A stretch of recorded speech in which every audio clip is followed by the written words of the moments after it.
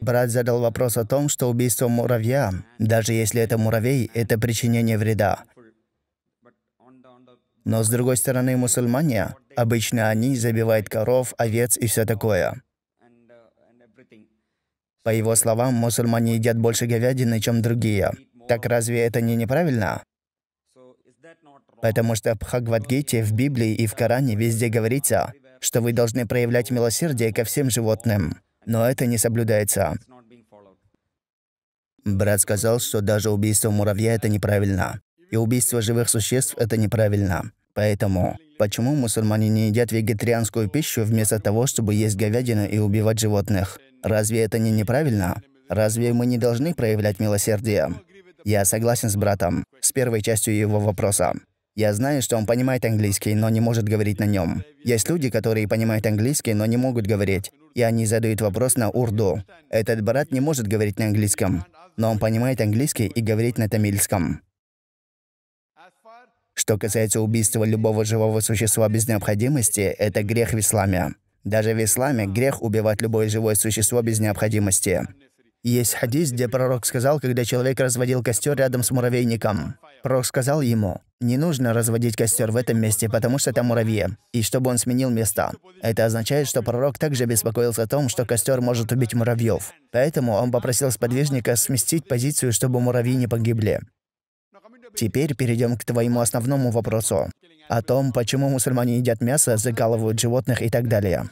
Для начала я скажу тебе, что мусульманин может быть хорошим мусульманином, даже будучи чистым вегетарианцем. Употреблять невегетарианскую пищу не является обязательным в исламе. Но поскольку наш Создатель дозволил употреблять невегетарианскую пищу, почему мы должны запрещать себе?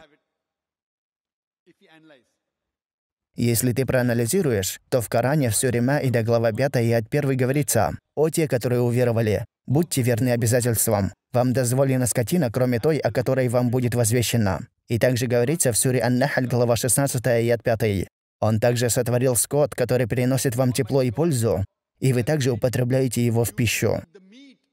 И также это говорится в 23 суре Му'минун, аят 21 и в других местах в Коране. Теперь, если мы проанализируем с научной точки зрения, то не существует вегетарианской пищи, которая обладает всеми необходимыми элементами для человека. Человеку требуются аминокислоты. Если точнее, 21 аминокислота большинство из которых воспроизводится в организме, но 8 нужно пополнять из рациона. Эти кислоты называются 8 незаменимых аминокислот. Я не знаю ни одного овоща, который содержал бы все 8 незаменимых аминокислот. Так что не существует овоща, который является полноценной пищей. Поэтому мы должны брать их из невегетарианской пищи.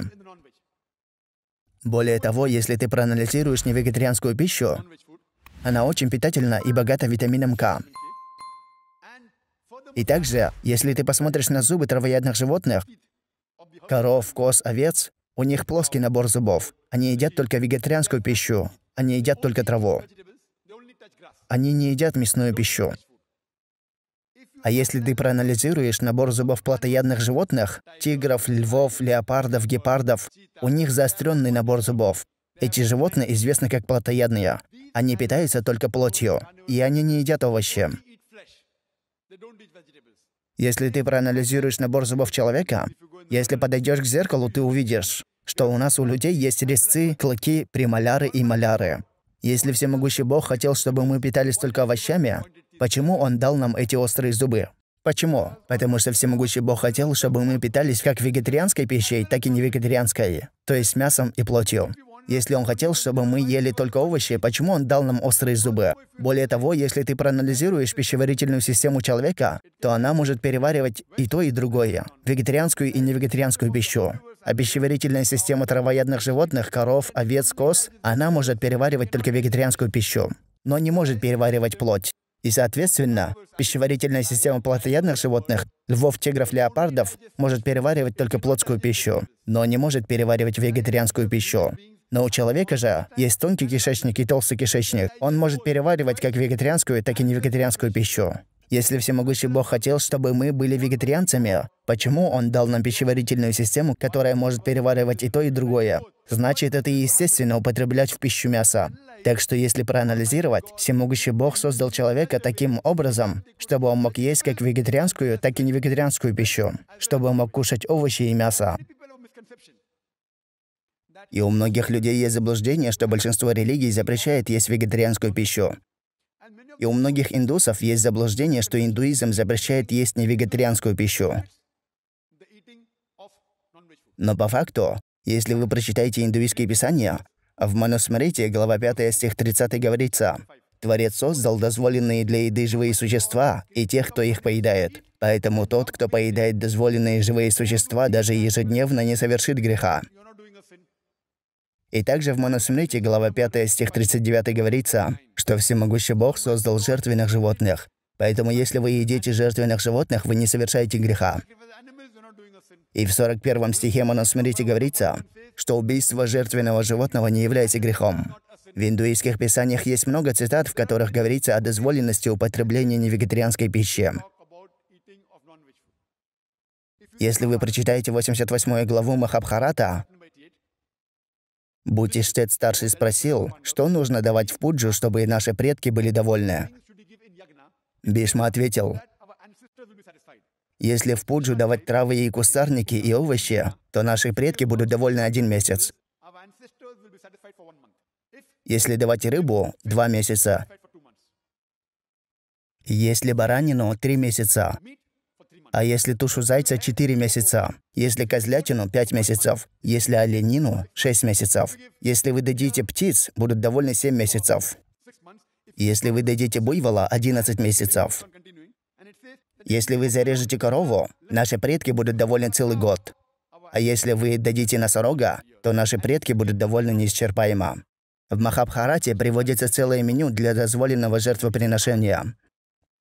Так что если вы прочитаете индуистские писания, они ели не вегетарианскую еду и мясо.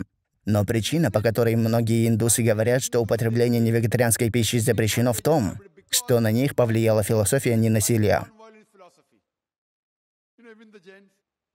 Люди, которые верят в философию ненасилия, говорят, что убийство живых существ причиняет вред. Поэтому убийство животного — это грех.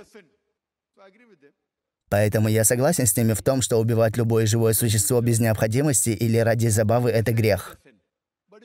Но если ты скажешь, что убийство живого существа — это грех, тогда я скажу, что даже те растения, которые вы едите, имеют жизнь. Раньше они не знали, что у растений есть жизнь, поэтому они думали, что убивать растения — это нормально. Сегодня мы знаем, что даже у растений есть жизнь.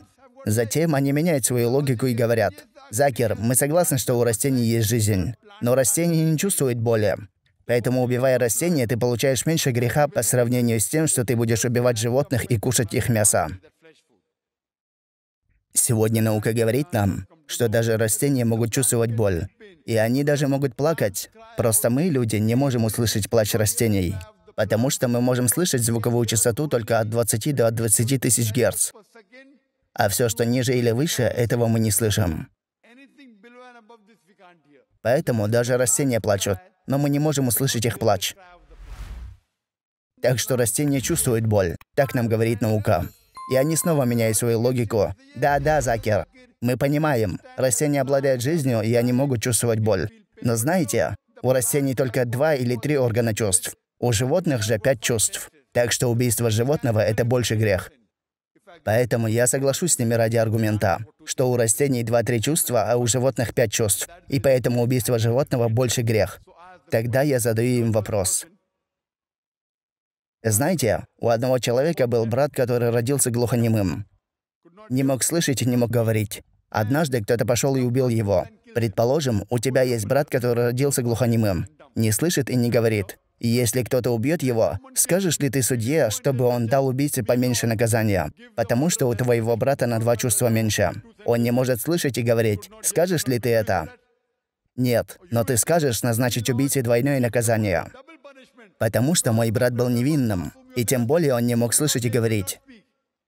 Так что в исламе не судят по количеству твоих чувств. На два чувства меньше, наказание меньше или больше. Такого нет. В Коране сказано, «О люди, вкушайте на земле то, что дозволено и чисто. Если еда хорошая и халяльная, то она разрешена. Ее можно есть. Поэтому в исламе разрешается закалывать животное только для еды, а для развлечения или спорта запрещено. Пророк даже запретил разведение костра рядом с животными, чтобы не причинить им вреда.